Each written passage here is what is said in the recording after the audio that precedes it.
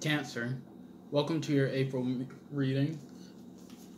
Starting off, I have Full Moon in Leo. Don't let pride get in your way.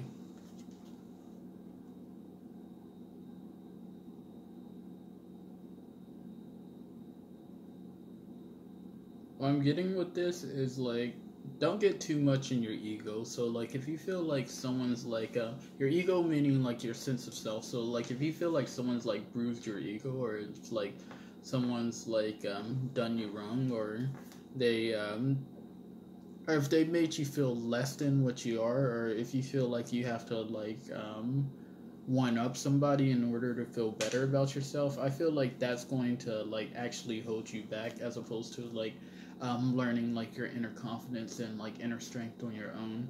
Um, with your second card i have beauty way coming as your medicine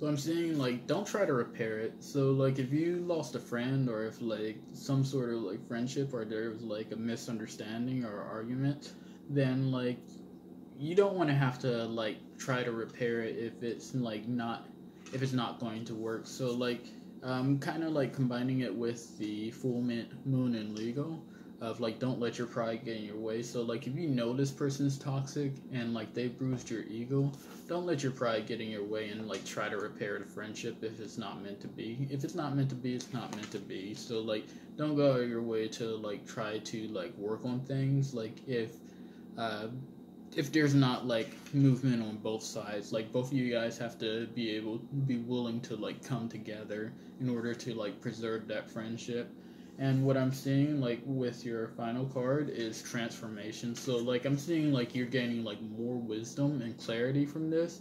And what it says is I journey within to meet my higher self and find true happiness. So this is going to be a time for you to like really transform. Like I'm getting the word uh I'm getting Scorpio from there. So like this could have been like a Scorpio that you know of or like you're having like one of those uh, transformations that like us Scorpios usually go through. Usually, like when we go through a transformation, or at least I can speak for myself, it almost feels like my old self is dying and like my new self is like being reborn. But like you really have to like start going within and like um, go into like yourself from a place of authentic authenticity and not from like a place of ego and like pride and like trying to like be this uh, grandiose um, person like when you who you are and you have value for who you are instead of like trying to look a certain way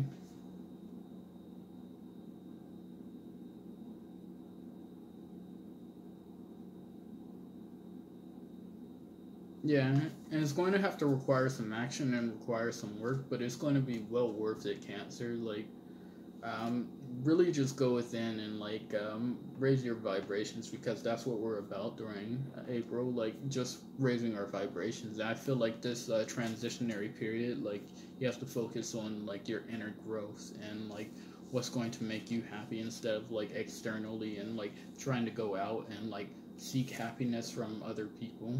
Okay? So that's all I have for you, Cancer. Thank you for watching. You take it easy.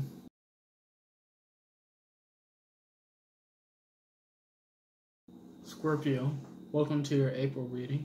Starting off with your first card, I have balance, practicality, and spirituality. Full moon in Pisces.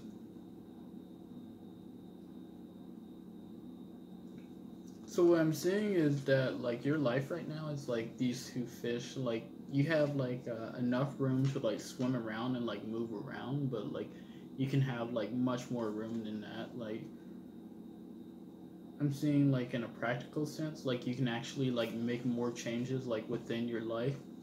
In a spiritual sense, like you can like imagine things and like allow them to grow, like allow your imagination to like expand upon like what you already have, like um, taking more action to like go to wherever it is that you need to go. As far as like your second card, I have the council.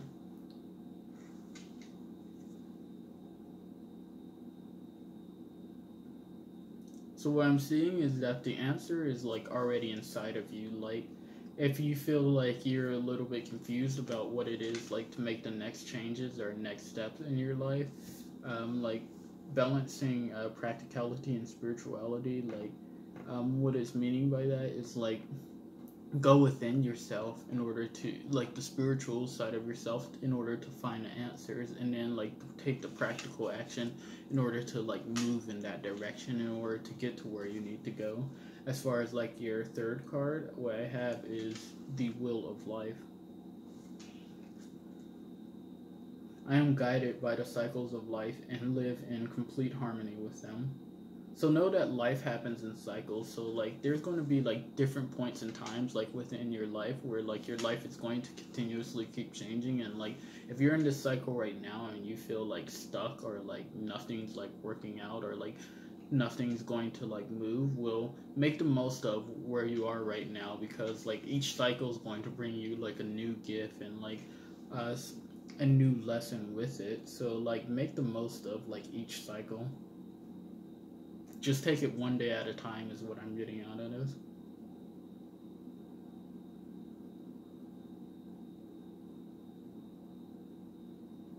Also, don't go a day without working on yourself.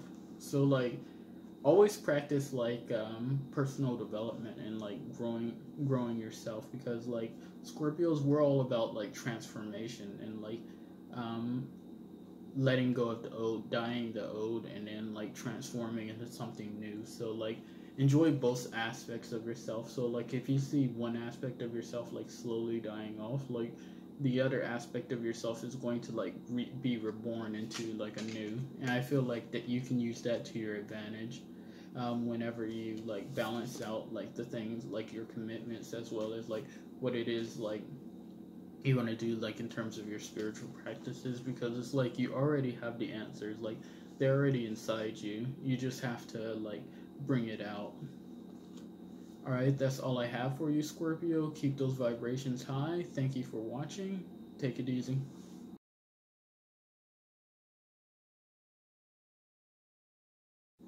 Pisces welcome to your april reading Starting off with your first card, I have Mutable Moon. Nothing is yet set in stone.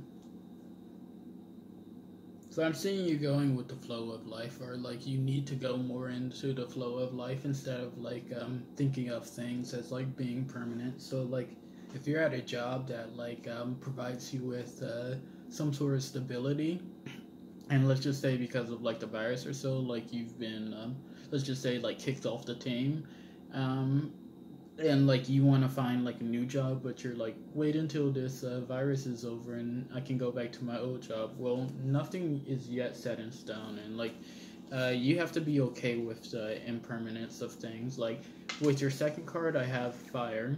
So like with the fire is saying like not being afraid to like destroy not like in like a negative or like toxic way but like understanding that like something that you could have, let's just say like this apple, like it can easily be destroyed and like to become attached to this apple, um, that would that wouldn't necessarily like help me or like benefit me. Like I gotta think to myself like, okay, I have this apple and like it's gone. Well, that apple's gone. There's nothing I can do about it. Just get myself another apple and it's like I had the experience of having two apples so it's like just enjoy the process of like getting more apples like within your life if that makes sense. So like um, also with your next card I have the water element for your final card.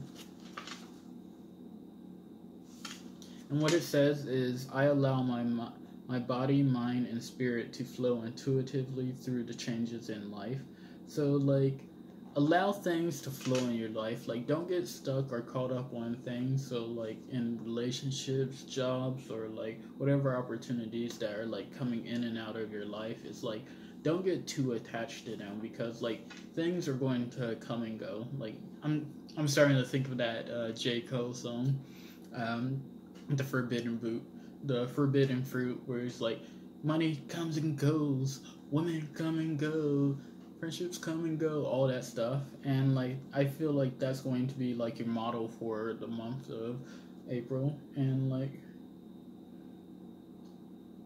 yeah, really be open to change, Pisces, because nothing is set in stone, and don't be afraid to burn it down or being able to like let go of it, and like um, celebrate the impermanence of things, like moving on to like different things. So like if you feel like something's negative or like is holding you back, don't be afraid to like access that fire energy and like just purify it with the flames that you have like within yourself because like I feel like that's going to like really energize you through April like knowing that you have the power to like let go of things and then like rebuild it like even better like I feel water element you're a water sign so like I feel like you're really going to like get in touch with like how how you're able to like flow through life. I feel like you're going to be able to like swim through like different opportunities. Like embrace this dolphin like energy too.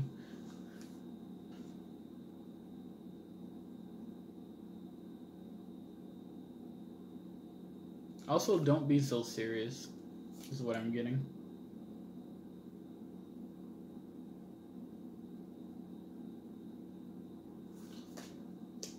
Yep. And that looks like that's all I have for the month of April. Like, keep those vibrations high. Thank you for watching, Pisces. Like, you take it easy. Be safe.